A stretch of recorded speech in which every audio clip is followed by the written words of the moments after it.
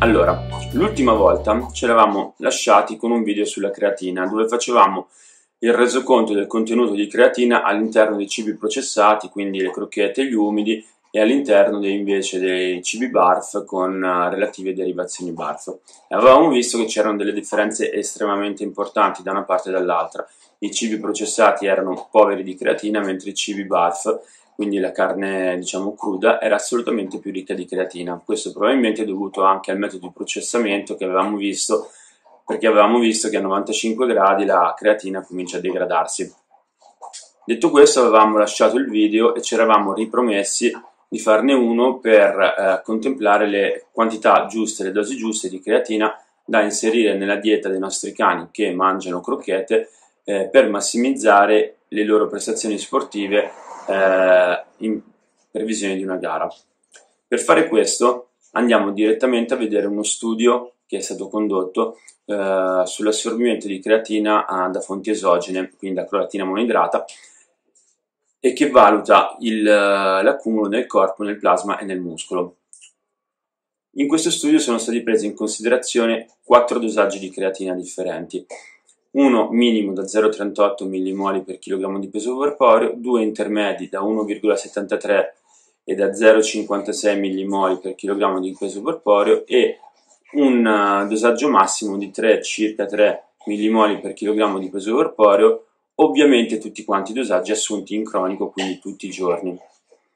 I risultati sono stati molto interessanti. Da una parte, come era prevedibile, il dosaggio maggiore ha dato il maggiore incremento di creatina nel plasma e questo era abbastanza scontato. Mentre non era assolutamente scontato il fatto che nel muscolo si, si uh, accumulasse creatina in base alla concentrazione di eh, creatina indotta. Infatti, il, lo studio ha mostrato che eh, durante le biopsie effettuate a 14 e a 28 giorni sui tessuti muscolari del cane, i cani che avevano assunto la minor quantità di creatina, quindi 0,38 mmol per kg di peso corporeo, avevano un quantitativo di creatina stoccata nel muscolo molto più alto rispetto ai cani che avevano preso le altre dosi, addirittura anche della dose maxi da 3,05 mmol per kg di peso corporeo.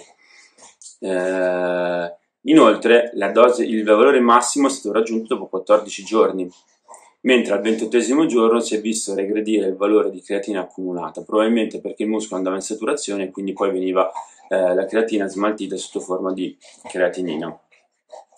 Questo che indicazione ci dà? Ci dà l'indicazione molto importante che se stiamo preparando un evento sportivo, una gara sportiva, possiamo cominciare a pensare di introdurre la creatina 14 giorni prima dell'evento, in maniera che si arrivi il giorno dell'evento a concentrazioni massimali Seconda cosa, la quantità. La quantità più utile che dà i risultati maggiori in termini di accumulo di creatina nel muscolo è la dose da 0,38 mmol per kg di peso corporeo e quindi sarà quella che andremo a utilizzare per effettuare poi l'integrazione tramite fonti esogene, quindi creatina monoidrato. In, uh, con questo video sulla creatina diciamo che abbiamo concluso il discorso. Eh, il prossimo video lo faremo su un altro integratore molto importante che viene usato tipicamente nei cani da slitta, che è la carnitina. E andremo a vedere l'utilizzo, le funzioni, eh, le quantità, le dosi e tutto quello che ci può servire per preparare il nostro cane a delle gare di endurance. Ciao a tutti!